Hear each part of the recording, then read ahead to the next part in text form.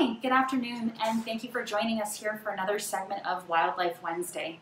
My name's Rachel, and today we're going down to the hospital to meet up with Missy Fox, one of Crow's certified veterinary technicians, to talk about the importance of sedation in patient care. Now, if you're unfamiliar with the term sedation, um, it's uh, when Crow chemically uh, calms an animal when we are trying to either provide medical treatments, cytologies, testing, physical therapy, etc. for the patients. Because when animals come into Crow, unfortunately they are oftentimes here as a result of a negative human interaction. And so even the mere presence of people trying to give them bandages and medications can make them stressed out. And so sedation is an important part of the treatment process that keeps them safe during recovery as well as our staff safe. Okay, so let's go meet Missy down there.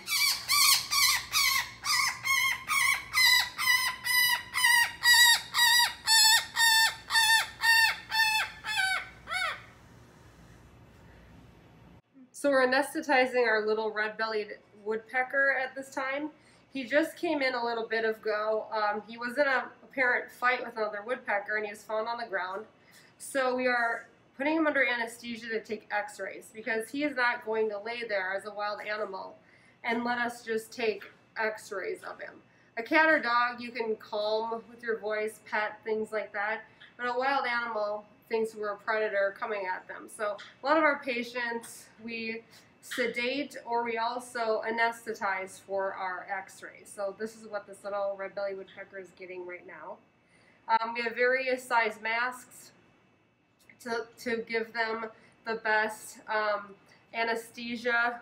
They basically, you don't want a bunch of dead space in here. So the smaller the patient, the smaller the mask. And we have to MacGyver quite a few for our different size patients.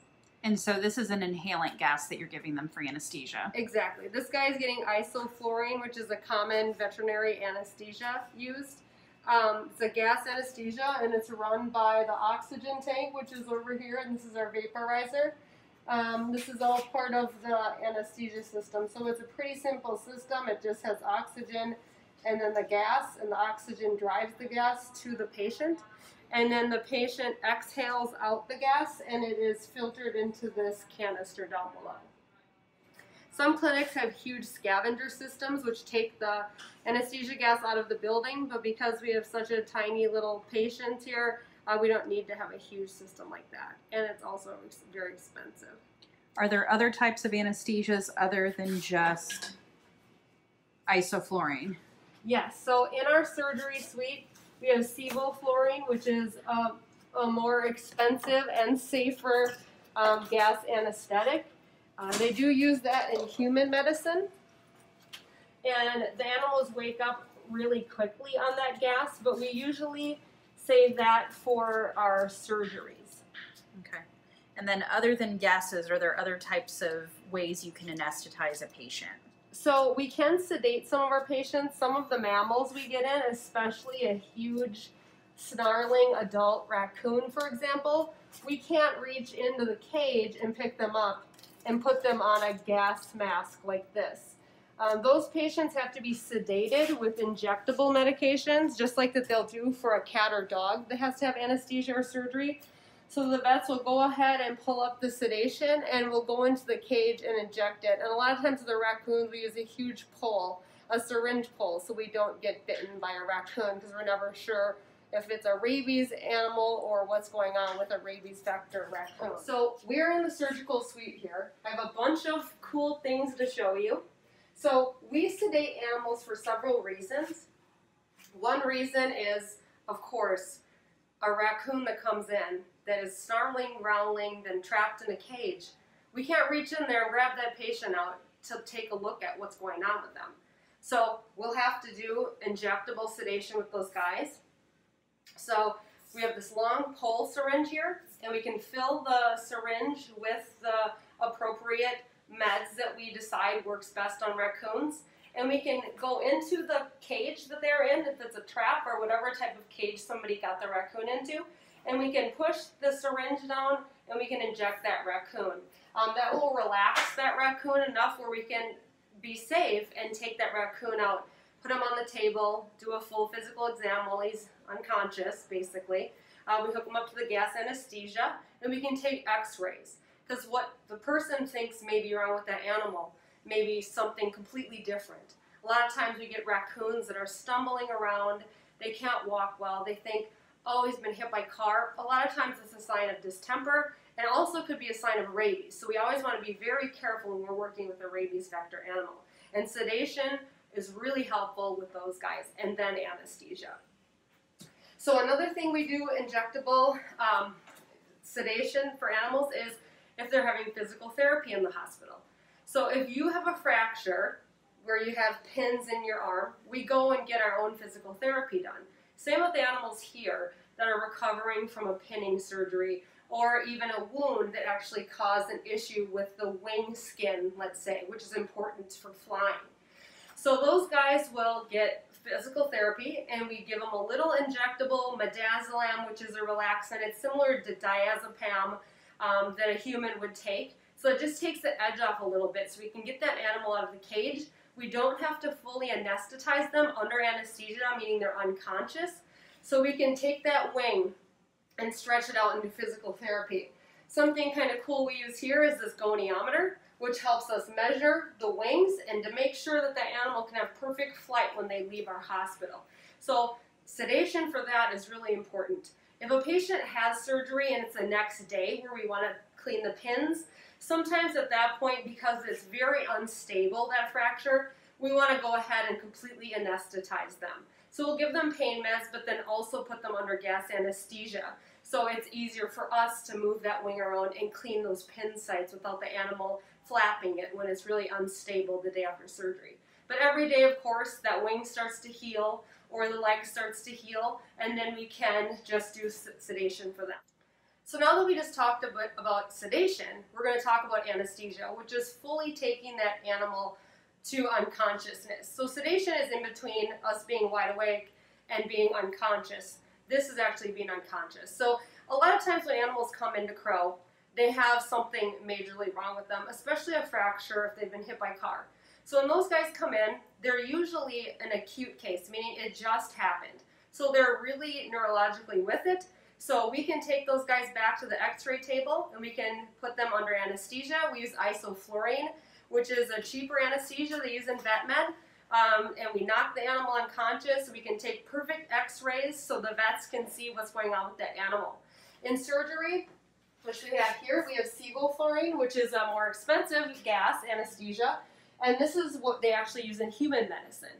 So we use that in our surgical suite for when a patient's under anesthesia for a longer procedure because it's safer and they also wake up a lot faster as well. So those are our two different gas anesthesias we actually have here at Crow. And we use them in different aspects. Um, we also will, if an animal is in really bad condition, of course, we'll anesthetize them before they get euthanized because it's a very stressful thing for an animal to be riding in a box being caught by a human. Uh, also, we want to keep in mind that when we're working with wild animals, what one vet put it, which was kind of neat, is picture Godzilla picking you up and putting you in a box and you don't know if Godzilla is going to do something to you, and then they take you out of the box and are looking at you. So it's always an, a predator attacking them when we're in contact with a wild animal, which a lot of us want to comfort them like we do for a cat or dog, but that's not appropriate for a wild animal. It's very stressful for them. So to take them down from the extreme stress they've gone through, we'll anesthetize them to get a better exam. So when we get an animal in a crow, for example, an adult squirrel, we all know that they have gigantic rodent-type teeth. So we don't necessarily grab that adult squirrel out of the box. We a lot of times put them in this induction chamber, which we can hook right up to the gas anesthesia, which hooks up right like this to the box, and we can anesthetize that squirrel and put a towel over the top so it's not stressful them looking at us. And when they're unconscious, we can take them out, take an x-ray, and do a better exam on them because we don't want to get bitten by an adult squirrel, but we also don't want this adult squirrel screaming and really scared of us. So this is something that's really helpful for, you know, a wild adult squirrel. We actually see sea turtles here. So when they may, might need some um, oxygen, which we use our anesthesia machine for, we could put this over a sea turtle's face.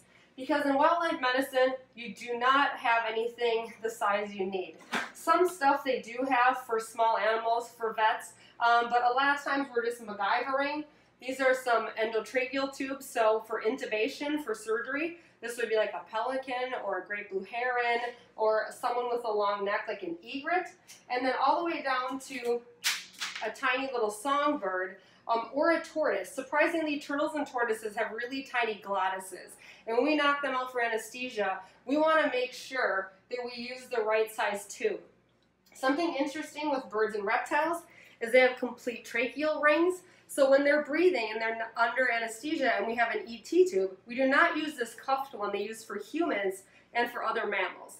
We have C-shaped tracheal rings and we don't want to use those with birds and reptiles because we can damage their trachea. So that's also something we take into consideration when we're anesthetizing these animals uh, for surgery. Another thing that we do often is turtle tortoise repair, which I just talked about.